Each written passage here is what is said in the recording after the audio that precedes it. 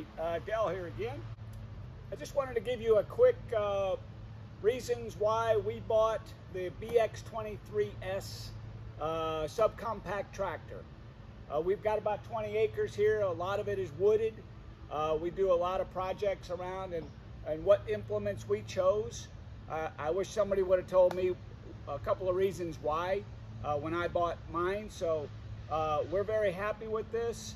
We went with the subcompact because once you go with a compact, it starts getting into a larger tractor. Uh, quite frankly, my wife uh, does not mind, you know, mowing. We've got Bermuda grass, and this mower, belly mower, will get down to two inches, so you can mow your lawn with it if that's what you want to do. Um, and I'll go through some of the other implements that we chose. Make sure to hit like and subscribe, and uh, hope you enjoy. All right, so the first option, I think I mentioned it when we first started, was this belly mower. Uh, we went with this, uh, is there's four types of tires, tread that you can get. The turf tire, the bar tire, the industrial tire, uh, and, and one other. We went with the bar tire, which it does not tear up the grass when you're mowing the yard uh, around the property. We have about one acre, one and a half acres of Bermuda, so it's good to mow this if we need to, uh, and, and it works out well. But my wife doesn't mind. She'll mow, that which just helps me out a lot uh, when we have other projects around the property.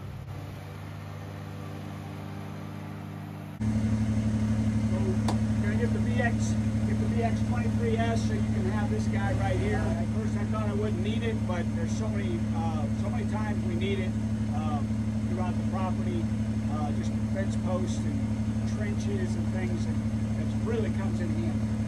So, uh, backhoe.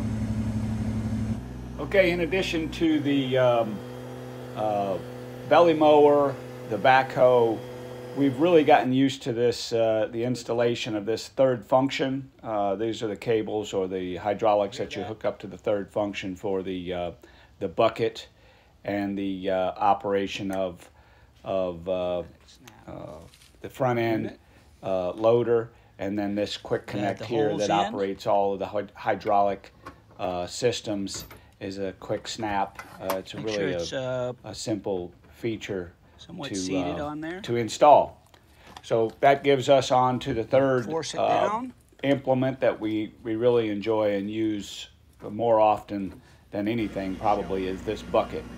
Uh, so the quick arms, uh, arm installation, uh, and, and being able to then have the option to use some of the other features that I'm going to show you.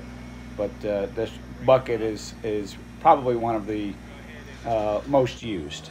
We've had this work done in the front. Everything you do, you need it to stabilize the installation or work when you do it with the backhoe. It's just a, a, a great feature of the BX23. S is the uh, bucket. Now let's move on to the box blade. Uh, it's not as used as much as some of the implements, but when you need it, you need it. Uh, what I'll do is I'll use the bucket and a chain and I'll pick it up. It's too heavy to pick up and move by yourself. Uh, and uh, it's a little challenging to install, but you, you work through it. These teeth will drag and plow the dirt. Uh, and, and you can adjust these teeth up or down right here. So you pull this. See, we'll use it in this application where we're putting sod down. We'll, we'll drag the, the grass and take those teeth in, in the dirt and roots. It just pulls it right up, uh, roughs it up for you. Uh, so then you, you drag it and as you see, I drop the teeth down. There's a the function with the hydraulic third function. Uh, you can drop the teeth down, you could pull it forward and start uh, dragging the dirt that maybe is on a high side.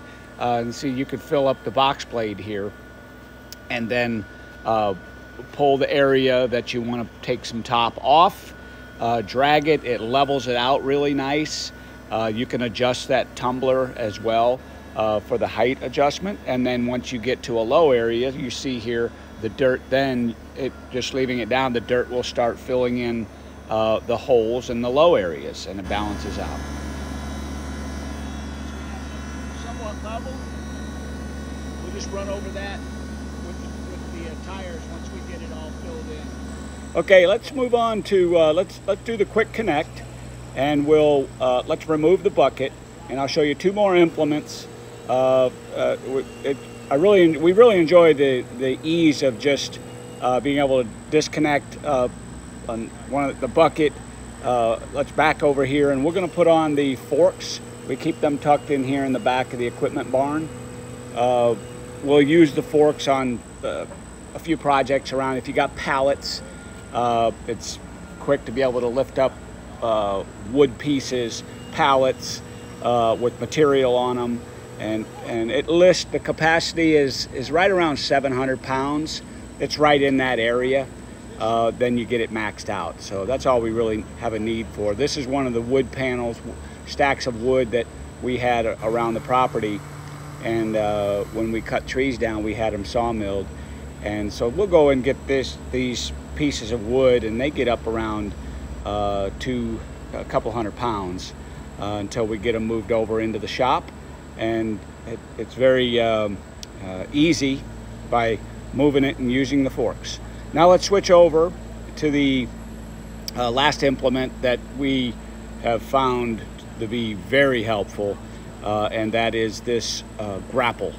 So we'll another quick connect but the thing with the grapple is because it's got a uh, it uses the third function you have to hook up the hydraulic and what's the purpose of the third function which is already hooked up when we do the arms, and then you just connect the grapple to it here uh, to the front uh, with the high, and it connects to the hydraulic systems.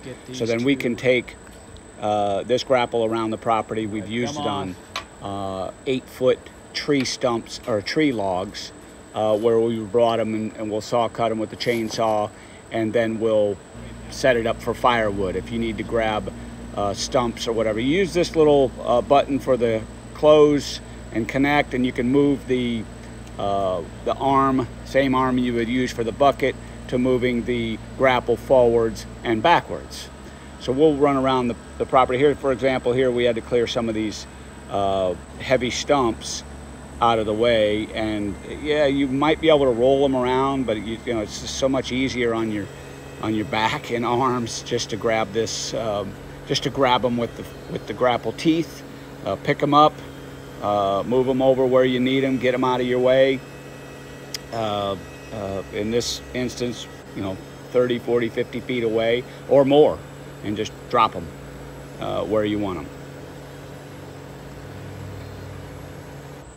Okay, so there you have it. Uh, those are our six implements that we chose for our BX23S Kubota. And uh, this thing is like a workhorse. You could see it. Uh, we couldn't do any of these projects without a powerful machine like this. It's like the Avatar machine on uh, uh, uh that does all the work and just saves you so much uh, back trouble. And we wouldn't have it any other way. If I had to do it all over again, I'd probably buy the same six implements. We have about 300 hours on this tractor. Uh, it, as long as you do the maintenance, we have really just a few little incidental items, uh, probably user error, or we had to do some repairs. We did them ourselves. You just look at the manual and it's pretty uh, self-explanatory. Uh, remember to hit like and subscribe. And uh, we're about to get uh, another load of mulch. We had another load of mulch brought in from the tree guys, cut some trees down and chipped it for us, and they dumped it here. So we're gonna get the bucket uh, and go spread it around some of our trails. Have a great day.